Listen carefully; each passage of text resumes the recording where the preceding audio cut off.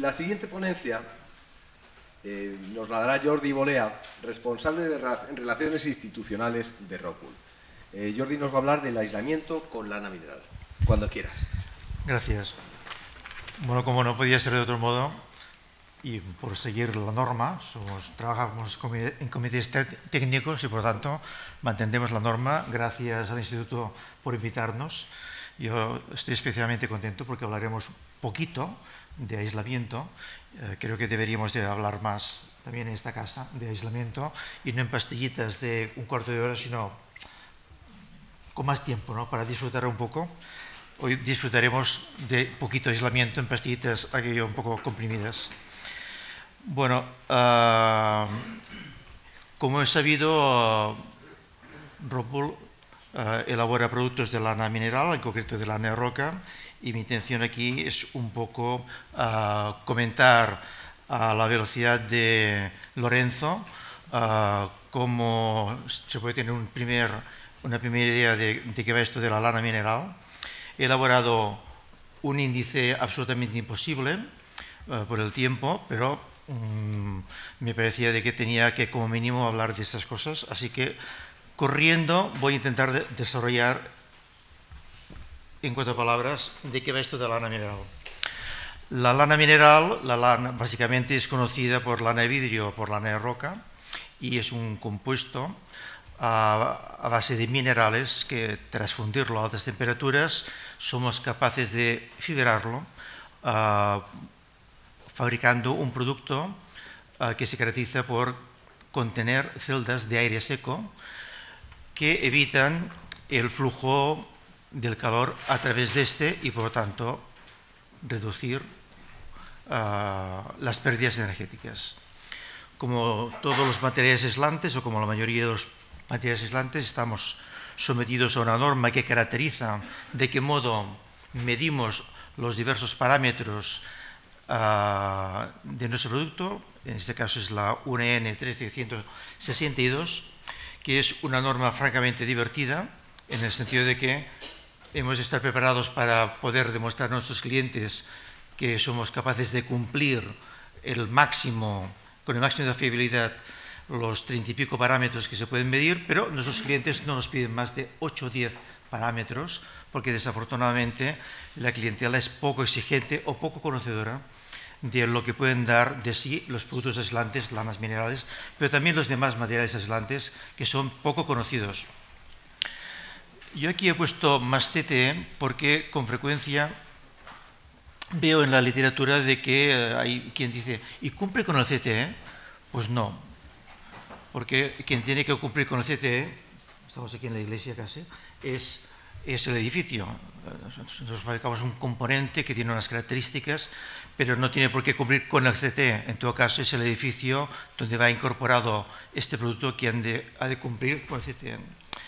Y también se me ha ocurrido de añadir la gran certificación, porque si hace años, si no tenías una marca, una, una marca externa que validara la calidad de tu producto, casi casi que no eras nada. ¿no?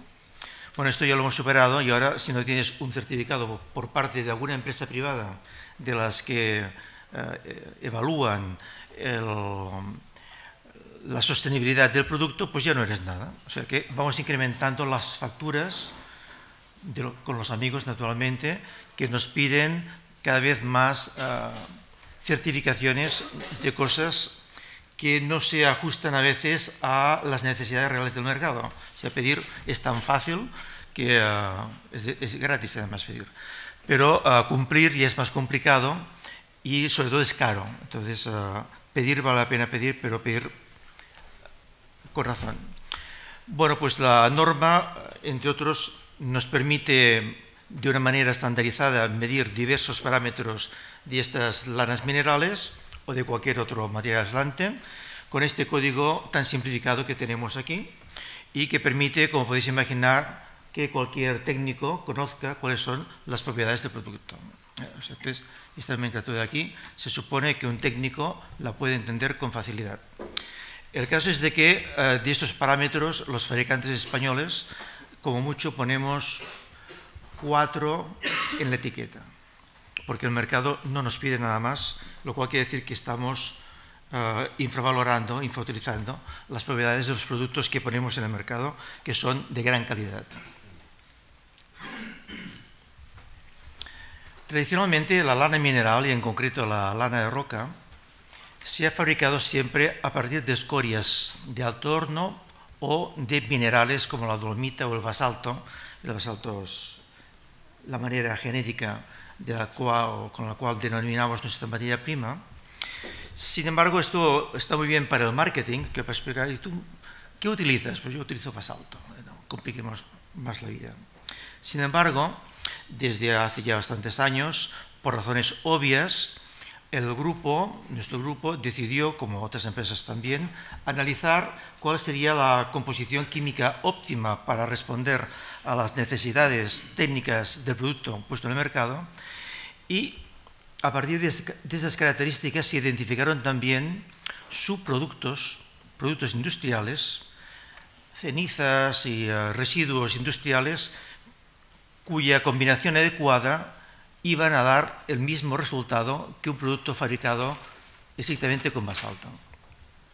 Hay que tener en cuenta que el basalto no es un material estandarizado con una norma UNE, sino que depende si es de Soria o si es de Navarra, su composición es diferente y por tanto siempre hay que adecuar el producto, lo que nosotros llamamos la, receta, y eh, estamos tan acostumbrados a manejar esto desde un punto de vista químico que uh, continuamente estamos manipulando la composición para que cumpla holgadamente con las prestaciones que del producto se espera en el mercado.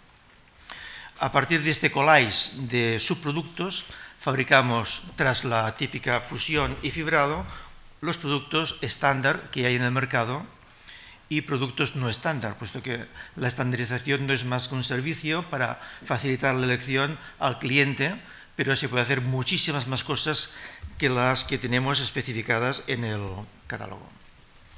Voy a pasar muy rápidamente por las características.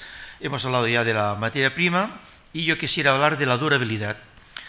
La lana de roca es un producto inerte, tiene un muy bajo contenido de materia orgánica y por lo tanto lo podríamos tener 100 años en, en una aplicación que no se vería afectado en sus propiedades térmicas, acústicas, mecánicas, etc.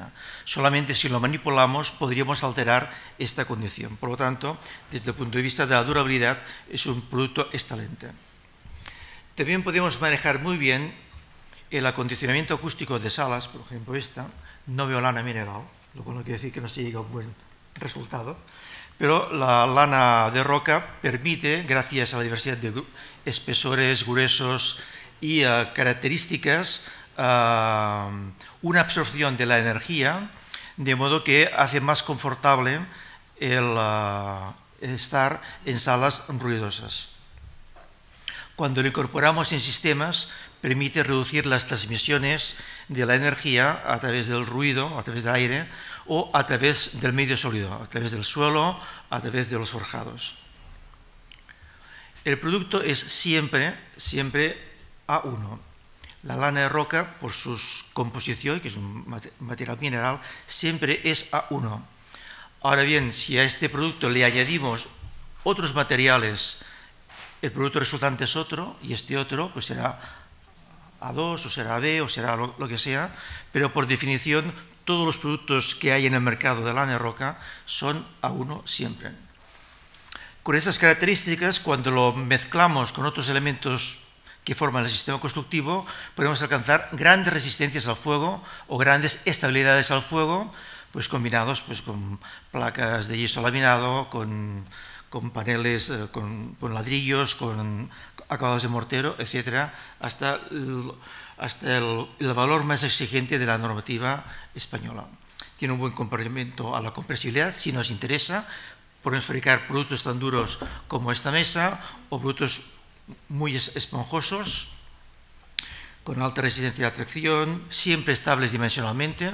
Esto no es un producto orgánico y por tanto se caliente o se enfríe, siempre mantiene su estabilidad dimensional, es flexible, se adapta a las fachadas, por ejemplo, curvas y además es reciclable.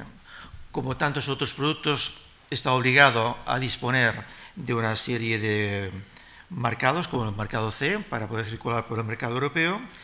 Y en el caso nuestro, todos los productos tienen la marca AENOR, una tercera parte que certifica la calidad de los productos. Y disponemos también de la declaración uh, medioambiental de productos de toda la gama uh, que se suministra en España. Es el único producto que tiene excelentes comportamientos a la humedad, al fuego, a, la acústica en, su, producto. Y entrando ya en las aplicaciones, uh, por un lado tenemos las aplicaciones en las partes opacas de los edificios. Nosotros no, no tapamos ventanas, huecos ni huertas, sino que nos dedicamos a la parte opaca y empezando por el interior, pues tendríamos un trasosado que sería una lana mineral fijada mecánicamente uh, y un acabado que podría ser placa de yeso, podría ser un acabado de ladrillo. La segunda, que está un poco de modas, consiste en la inyección de lana mineral en el interior de la cámara de aire. Obviamente la transmitancia obtenida dependerá del espesor de la cámara disponible. El sistema SATE o ETICS, que se ha explicado ampliamente hace un momento por parte de mis antecesores, y el sistema de fachada ventilada, muy útil, sobre todo en verano, en las partes térmicas. La, la, inyección, el SAT y la fachada ventilada tienen la gracia de que son, no son invasivas, quiere decir que para el mercado de la rehabilitación son francamente interesantes de utilizar. El trazado por el interior implica pérdidas de espacio y por tanto el usuario raramente acepta su uso. En todo caso, podemos, yo no he puesto ningún valor, porque podemos obtener el valor que queramos en función del presupuesto, de las dimensiones y de la ambición que tenga cada uno en el ámbito tanto térmico como acústico. Hay que reseñar también que cuando cambiamos la estética de un edificio, mejoramos no solamente uh, la calidad, sino que además incrementamos el valor patrimonial. En cuanto a las cubiertas, disponemos de una amplia gama de productos, tanto para cubierta plana como para cubierta inclinada, para fijar dentro de la cubierta inclinada, para uh, colocar simplemente por gravedad uh, suelo forjado. También es interesante en las cubiertas ajardinadas, desde un punto de vista sostenible, hay ciertos arquitectos que pregonan la necesidad de incrementar las superficies verdes en las ciudades y en ese sentido pues aparte de que refrigeramos con mayor facilidad, pues con el aislamiento colocado en la parte inferior ganamos en eficiencia energética. Y finalmente tenemos la cubierta aljibe, que almacena o contiene una pequeña piscina que puede servir de depósito de agua para los bomberos o puede servir de piscina o puede servir simplemente como aislante y refrigerante. Yo quería aprovechar mis tres minutos. Esto es una maratón uh, para comentar un poco uh, qué nos preocupa el tema de la economía circular. La lana de roca es un producto netamente uh, idóneo para este tipo de aplicaciones, puesto que una vez utilizado, una vez superado su ciclo de vida a los 40, 50, 80, 90 años, podemos volver a reutilizarlo, podemos volver a fundirlo, podemos volver a fabricar materiales uh, aislantes de la misma o mayor calidad, puesto que hemos de pensar que con los años lo haremos mejor.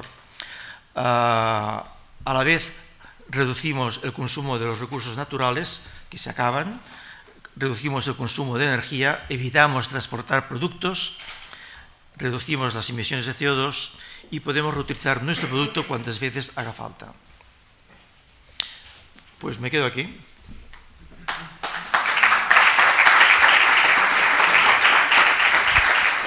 extraordinario. Pero vamos a hablar casi dos horas enteras de aislamiento, ¿eh? Es un siempre, siempre es poco. Siempre es poco. Desde luego que sí.